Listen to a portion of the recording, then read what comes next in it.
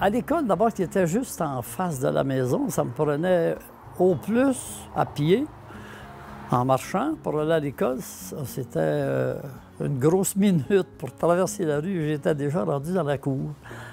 Euh, loin d'être toujours le premier rendu dans la cour, euh, j'arrivais le, Bien souvent, j'étais après des familles comme les, les, amis Hawkins, qui étaient du lac Manitou, qui avaient au moins 4, 5 ou 6 000 tous les matins à marcher pour traverser euh, même le lac l'hiver, traverser en ski. à l'automne, même lorsque le lac était gelé, j'ai vu qu'il y avait le patin sur le dos parce qu'ils avaient enlevé leur patin en arrivant au village. Ils avaient traversé notre lac qui a déjà 3000 de, de, de, long, le lac des Sables. Et puis pour se raccourcir, durant l'automne, lorsque les lacs gelaient, puis que c'était permis par les adultes de le traverser ou d'aller faire du patin sur le, sur le lac qui était gelé,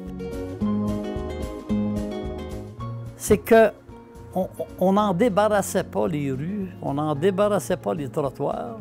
on pouvait dire qu'on avait beaucoup de neige dans ces années-là. Mais c'était plutôt qu'on gardait, puis on roulait la neige. On faisait des, rouleaux.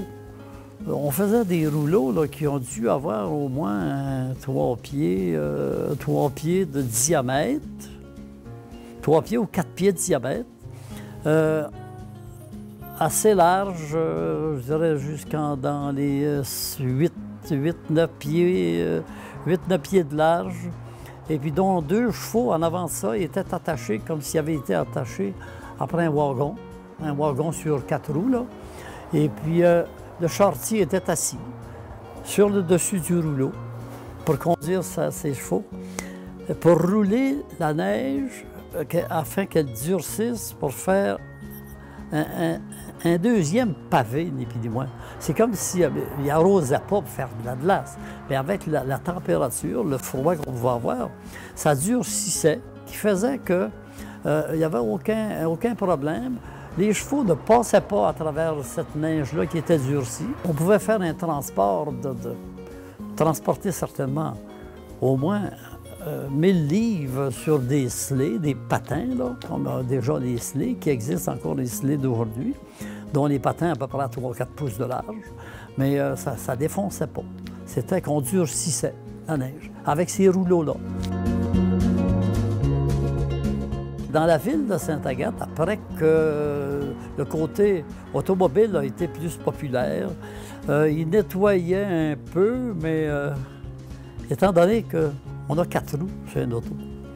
Au lieu d'avoir une rangée qui pouvait passer à la droite avec deux rails, deux rails, mais c'est-à-dire que les pneus avaient fait une trace, que le camion, l'auto ne pouvait pas facilement débarquer de là, Et puis au lieu d'avoir deux à gauche pour passer pour la gauche, deux à la droite, ça aurait fait quatre rails.